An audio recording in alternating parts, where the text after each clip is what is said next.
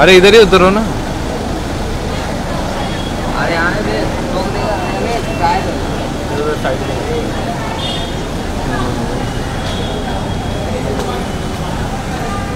बस बस बस। अरे बस ना भाई इधर ही खड़े रहना है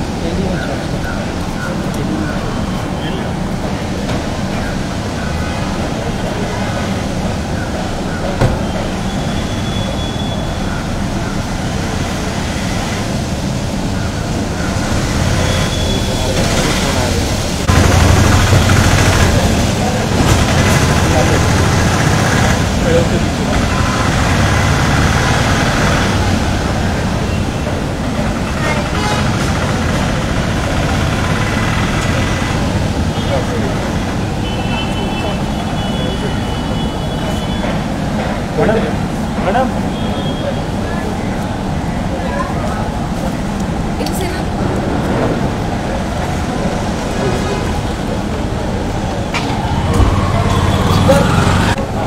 सबसे पहले मैम आपका सॉन्ग आया था?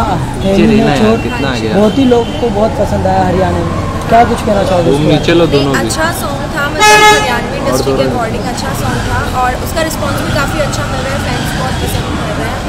बहुत रील्स भी बनी है ट्रेंडिंग में जा रहा है रील्स पे। तो और भी अभी मिलियन प्लस हो गया है बट और भी अच्छा अभी जैसे वेडिंग सीज़न शुरू होगा तो गाना बहुत अच्छे और भी ऊपर जाएगा। साथ ही मैं ये भी जानना चाहूँगा बिग बॉस कितना फॉलो कर रहे हो आप?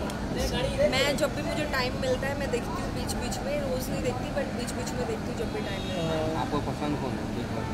फेवरेट अब्दू। अब्दू?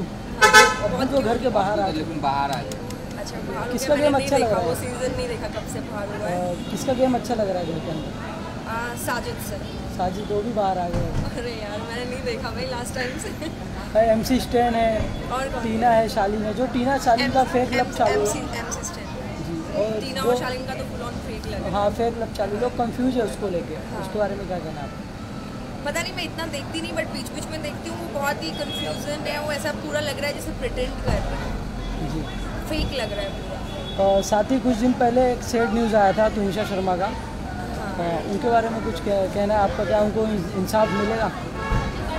मिलना तो चाहिए उनको इंसाफ ऑफ़ कोर्स मिलेगा अगर उनके साथ गलत हुआ है तो ऑफ़ कोर्स उनको इंसाफ मिलेगा। और पता नहीं आजकल की मेंटल स्टेटस क्या रहता है कि लोग ऐसे कर लेते हैं ये सब स्टेप उठा लेते हैं ऐसे स्टेप्स बट अगर उनके साथ गलत हुआ है तो हंड्रेड परसेंट उनको इंसाफ मिलेगा। जी जाते जाते अपने फ्रेंड्स के बारे में क्या कहना है जो आपको बहुत प्यार करते हैं? हाँ मैं मेरे फैंस को यही कहना चाहूँगी आप भी अपने बिज़ी शेड्यूल में से एक घंटा एटलीस्ट निकालिए अपनी हेल्थ के लिए बिकॉज़ हेल्थ बहुत इंपॉर्टेंट है।